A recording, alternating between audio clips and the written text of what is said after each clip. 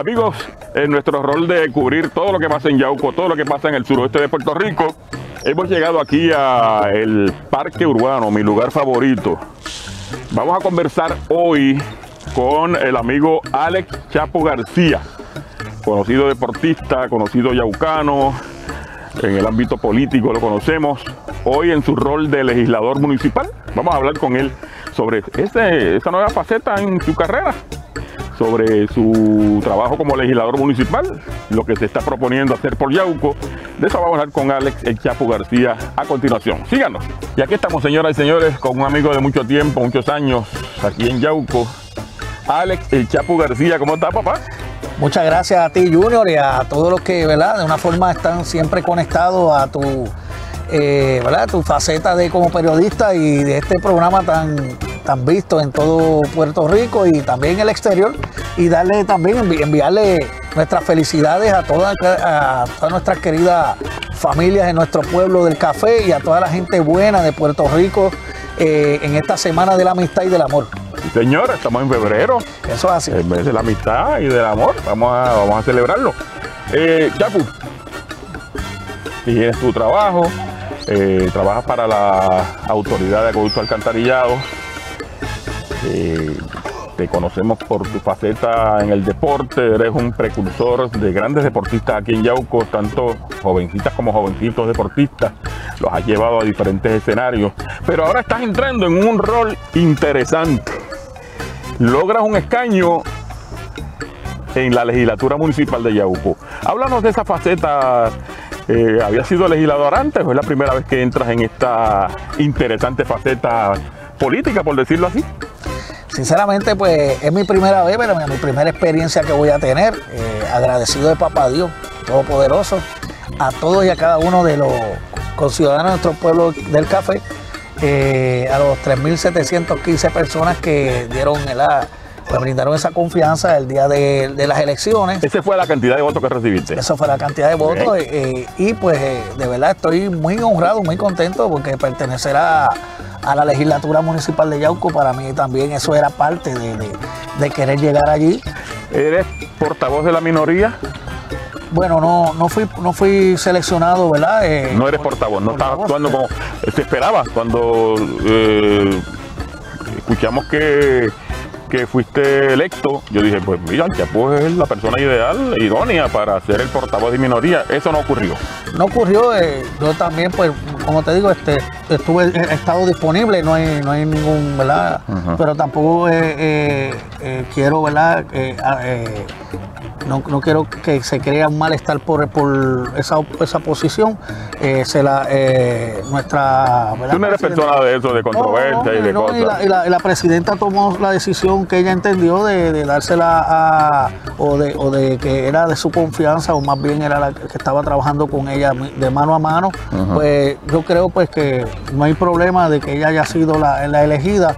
Eh, la compañera Marian Feliciano, una gran eh, yaucana.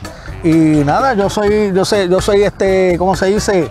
Eh, portavoz alterno en un momento dado cuando ella no esté y, y- y necesite. ¿Quién es, este, ¿Quién es la joven? Hay una, una joven, ¿no? Una fémina. Ella es una jovencita que, ¿verdad? Que, estuvo trabajando eh, con Luis Elí, eh, Luis Elí Torres Monsegur. eh, estuvo trabajando, ¿verdad? En la campaña de Luis Elí. La campaña de Luis Elí, y no solamente eso, sino que también estuvo eh, trabajando en, en la Cámara de ¿Y Representantes. sacó más votos que tú o menos votos que tú? Menos votos que yo. Menos votos. Menos votos que yo. Muy bien. Entonces, eh, vuelvo y te digo, el de la experiencia y eh, ya el, el millaje político, por decirlo así, el conocimiento, eras tú. No sé, me gustaría, algún día le preguntaremos a la presidenta por qué ella y no tú el, el portavoz de la minoría. Eso hablaremos ya en una próxima ocasión. Sabemos que Ella, ella, ella, no creemos que era controversia Sí, ni no, tipo no, de cosas. ella, ella tendrá, ¿verdad? Su, ¿verdad? Como ella se expresó, ella- nos reunimos, ella tomó la decisión, yo la acepté, eh, nada, esto sigue y eh, yo sé, yo solamente digo que la voz de, de este servidor se va a dejar sentir y no va a haber, eh, yo le digo a mi querido pueblo del café, no importa el color, eh, el ya la política pasó a un lado.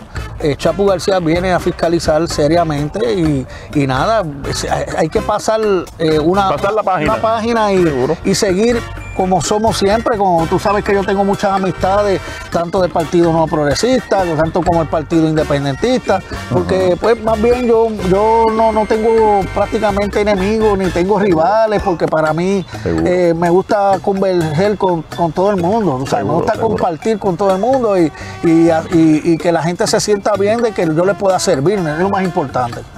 ¿Te ha llegado alguna queja? ¿Tienes alguna ya eh, previsto radicar alguna medida para, la prohibición o la regulación del boceteo y de las luces estas eh, LED en los vehículos que son ilegales? Eh, de las luces LED no me han llegado, ¿verdad? Como tal este, preocupación, pero lo he podido percibir y, te digo, es, eh, eh, es bien, bien, bien preocupante porque enfoca a la persona y puede descontrolarse y ocasionar accidentes. eso, pues, yo creo que se debe de, ¿verdad? De, haber, una de, detener esa práctica y de, y, y de, que si hay que censurar, pues en esa parte yo creo que sí. Yo no, yo no quisiera, y con mucha, con mucha responsabilidad, yo no quisiera que se prohibiera. yo, yo, le digo claramente, lo digo seriamente y, claramente. Yo no quisiera que se, que se prohibiera el boceteo, sí, deben de regularlo. Eh, a mí me gusta la música alta, pero no me gusta el escándalo. ¿eh? Me gusta la música alta. Y, que no, y que tú disfrutes de la música sin alterarle la paja a otro. Seguro, sin, que... las personas se molesten. Hay muchas personas que tienen condiciones especiales, personas que están eh, sufriendo en sus hogares de, los nervios, del corazón, otras personas que son pacientes de diálisis, que necesitan y la paz de otra persona no puede ser afectada. Yo quisiera que eh, vamos a tomar esto, hay que hacer lo que se llama eh, un estudio, porque se puede, y lo digo así, ¿verdad? Eh, se puede regular primero el horario. Horario no puede, tú no, a, las, 7 de la mañana, a las 8 de la mañana que se está levantando una persona un domingo o un sábado, eh, de madrugada. O de madrugada, porque también lo hemos, lo hemos, lo hemos, lo hemos escuchado eh, y lo hemos, nos, han levantado a eso de las 2, a las 3 de la mañana, que yo creo que eso es, eso es algo que no, que no, no debe pasar. Una persona consciente no debe ¿verdad? afectar a otra persona. Y los ciudadanos tienen derecho ¿verdad? De, vivir bien y estar tranquilos. Como hay, hay un refrán que dice que donde terminan los derechos, de uno, de uno pues empiezan los tuyos. O sea, eh, no sé cómo es el refrán, pero realmente no se debe alterar la paz.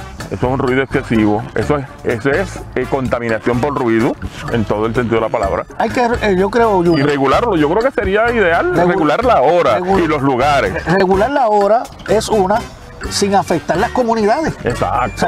tú puedes tener un, ejemplo, hay que designar, yo quisiera, ¿verdad? y esto es uno de los puntos que que vamos a, llevarlo a colación y lo digo hoy, hoy 10 de, febrero. me, adelanté, a lo que iba a decir en la sesión, pero nada, lo vamos a decir aquí con, Junior Muñiz, eh, eh, ¿verdad? Eh, que se coja un lugar, unos lugares específicos para la práctica del boceteo, que no afecte, que no afecte las comunidades, que no afecte eh, eh, las iglesias, que no afecte tampoco las funerarias, áreas de donde hayan servicios funerarios, mm. que no afecte tampoco, eh, ¿verdad?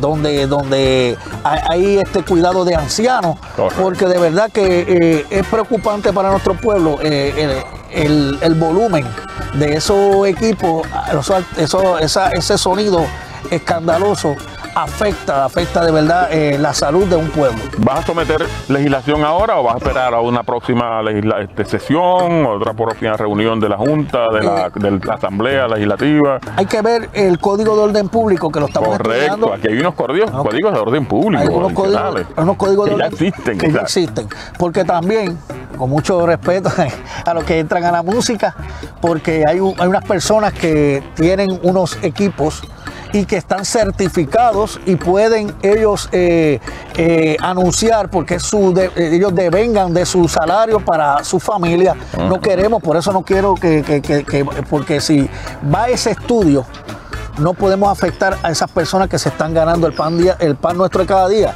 En la política, tú sabes muy bien que los ruidos excesivos de las tumbadoras, pero tienen sus regulaciones y cada persona tiene unos permisos y saca unos permisos para poder operar eh, esas tumbadoras para, para la política. También, vuelvo y repito, si se van a hacer regulaciones para el boceteo, también hay que hacer regulaciones en la política. Taller Caraballo, los duros en la mecánica, sector Cuatro Calles Yauco, especialidad en tren delantero y transmisiones. Taller Caraballo, 222-4120, 297-0776, lunes a viernes de 8 a 4 de la tarde. Ya está brindando servicio a Yauco la nueva Reina Bakery en 25 de julio número 54. Desayunos, almuerzos, colmado, pan, refrescos, cervezas. 437-0244-673-7606. Abierto todos los días desde las 5 de la mañana. Definitivamente donde mejor se pasa es en el desvío 1, detrás del Mario Ñato Ramírez en Yauco. Y el desvío número 2, carretera 116, frente a la gasolinera Ecomax en Lajas. En ambos ambiente familiar, cerveza, picadera, música, todo para llevar. El desvío 1 y desvío 2. 856-5215. Panadería, cafetería y repostería Café Bakery. Especialidad en almuerzos, desayunos, dulces, pan caliente. Efectos de colmado. Café Bakery, 25 de julio Yauco. Abierto los 7 días de la semana. 856-8269. Dale cariño a tu carro. En M&M Auto Service. Mantenimiento, gomas, inspección, mecánica liviana. Te venden el marbete M&M Autoservice, calle Comercio Final Yauco, 787-267-3136. El autopart que hacía falta en Yauco es Gemelos Autopart. Piezas americanas, japonesas y coreanas. Gemelos Autopart, al lado del restaurante de comida china en Cuatro Calles Yauco, 787-913-0000.